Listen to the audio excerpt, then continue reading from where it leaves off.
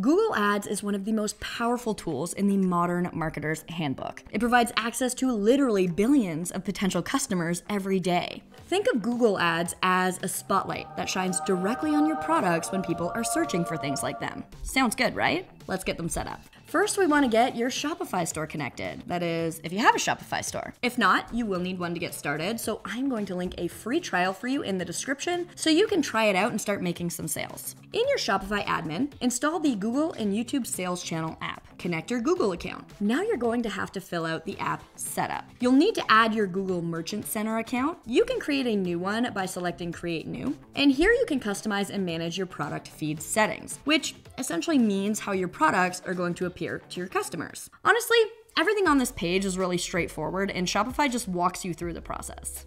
Now, it will take a bit of time for your products to sync. If you don't see any products, just check back in a bit. It actually may take about three to five days for them to get approved. But once everything is approved, it's time to start selling. So head to Performance Max, connect your Google Ads account or create a new one, and then you've got your Shopify store connected. So let's get to the exciting part creating those Google search ads that will bring in the customers. Think of your campaign settings as your game plan. You'll need to pick the right type of campaign. The most common one for Shopify stores is a search network campaign. This means that your ads will show up when people search on Google for things related to your products. Next, your goals. Are you aiming for more sales? Or do you want more people to sign up for your newsletter? Maybe you want them to visit your website and learn more about you. Google Ads lets you choose goals like these so that your ads are optimized to get the results that you want. Keywords are the words and phrases your customers use to find products online. For example, some keywords for this hot sauce store might be hot sauce, mild hot sauce, gourmet hot sauce, or hot sauce gift set. You'll need to find the right keywords, ones that are relevant to your products and that people are actually searching for. Google has this free tool called Keyword Planner that can help you with this. Just look for keywords that have a good balance of search volume, so this means how many people are searching for them, and competition. This is how many other advertisers are using them. Now I want you to imagine that your ad is a tiny little billboard on a very busy highway. You've just got a few seconds to catch someone's eye. This is where your headline comes in. It needs to be clear, relevant, and attention grabbing. So think about what makes your product unique. Do you offer free shipping? Do you have a special sale going on? Highlight those things in your headline. And don't be afraid to get a little creative. You can make it funny or even super relatable. So your headline is the attention grabber, your ad copy is the pitch. You've got a little more space here to elaborate on your products and convince people to click. So you want to focus on the benefits of your products or services, not just the features. For example, for our hot sauce store, instead of saying our hot sauce is made with all natural ingredients, could try spice up your meals without the heat with our delicious all natural hot sauce. See the difference? Also, make sure to include a clear call to action, like shop now or learn more. You want to tell people what you want them to do. Let's talk money.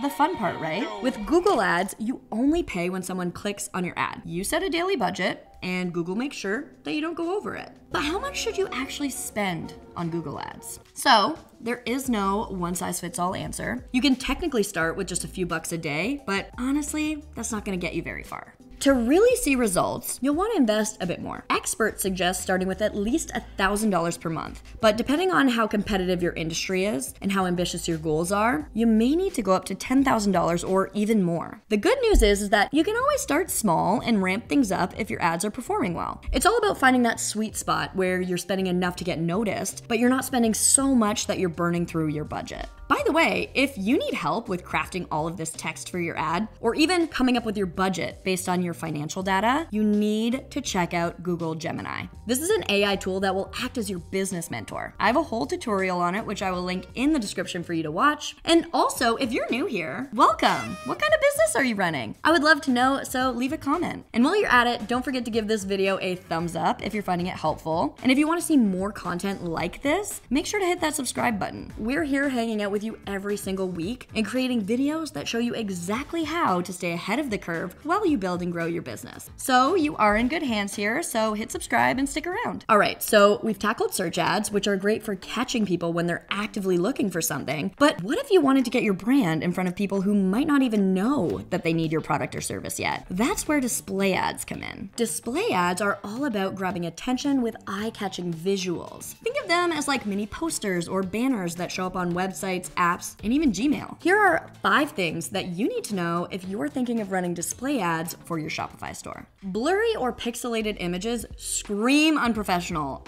Big no no. Use high resolution images that showcase your products in the best light. You can even use Product Studio on your Shopify admin to transform your product images with AI. That being said, you also want to make sure that your product is the star of the show. Don't clutter the image with too much background or text. You can consider using lifestyle images to show your product in action. This helps people see how they would use it in their own lives. No matter what kind of image you use, it's important to use vibrant colors and interesting compositions to make your ads stand out. You also want to try to evoke an emotion or tell a story with your image. This is going to make your ad more memorable. The key here is to create visuals that are just so appealing that people can't help but stop and notice them. Just like with search ads, your headline and your copy need to work together to tell a compelling story. But with display ads, we've got to be even more concise because the focus here is on the visuals. Think of your headline as the teaser and your copy as the quick pitch. So, like, I could do Spice Up Your Life for the headline and the perfect balance of flavor and heat, shop now. Remember, people are scrolling fast, so keep it short snappy, and enticing. The beauty of display ads is that you can target them to specific groups of people. You can show your ads to people who have visited your website before, people who are interested in your niche, or even people who live in certain areas. Here are some ideas for targeting. You can try targeting people based on their interests, like cooking or food or spicy foods. This makes sure that your ads are seen by people who are more likely to be interested in your product. If you only ship to certain areas or you have a physical store, you can target your ads to people in those locations. You can also target your ads based on age, gender, or other demographic factors if they're relevant to your product. If you really want to take it up a notch, show your ads to people who have already visited your Shopify store. This helps keep your brand top of mind and encourages them to come back and make a purchase. You can use Shopify Audiences here. This is a tool that helps stores target customers by creating targeted audience lists. These lists are based from data from Shopify and are perfect for running ads on platforms like Meta and Google. On your Shopify store, you would need to install the Shopify Audiences app, connect your Google account, generate an audience list, and this list will be automatically exported to your Google Ads account.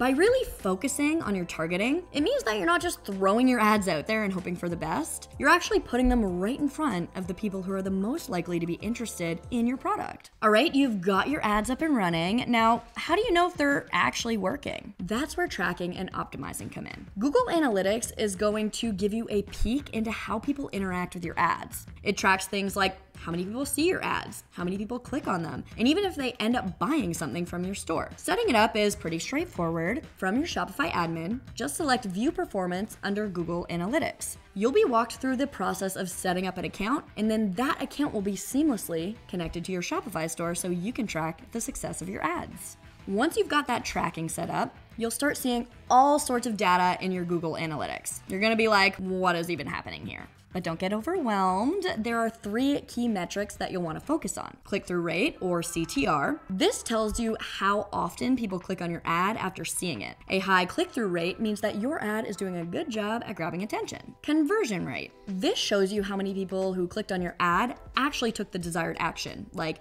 making a purchase or signing up for your newsletter. ROAS, or return on ad spend, this is a big one. This is going to show you how much revenue you're generating for every dollar you spend on ads. So think of these metrics as your ads report card. They'll tell you what's working well and what needs improvement. Now that you have your report card, it's time to fine tune your ads. Here are a few tips. Test different headlines and ad copy to see which ones get the best click through rate.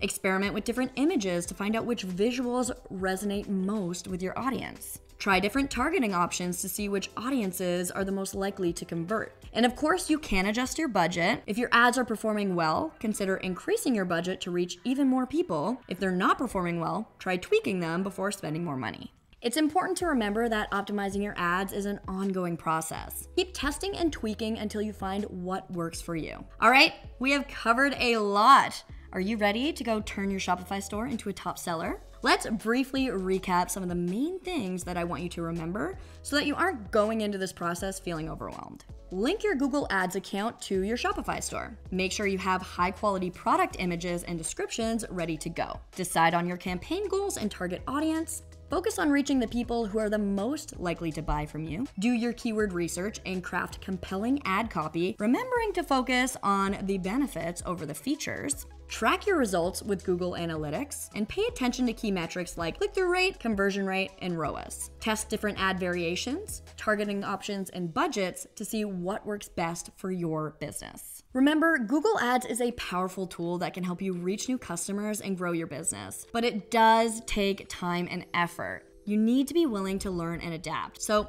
don't get discouraged if you don't see results overnight. Just keep testing, tweaking, and optimizing your campaigns, and eventually you'll find a winning formula. If you have any questions about Google Ads for your business, make sure to drop them in the comments so I can help you out. And if you want to learn more about the different ways that you can market your business organically using AI, so that means no money, then you're gonna wanna check out this video next where I go over a ton of different text based AI tools like ChatGPT and Google Gemini, and I'll teach you how to get the best, most personalized responses for your business. So you can even use what you learn in that video to generate amazing ideas for your Google ads. Using AI is going to help take the load off and make this whole process much more streamlined. Thanks so much for hanging out with me today. I hope you're ready to go crush your Google ads. And if you haven't got your Shopify store up and running yet, don't forget to grab that free trial link in the description. My name is Bridget O'Rourke, and I'll see you next time. Bye.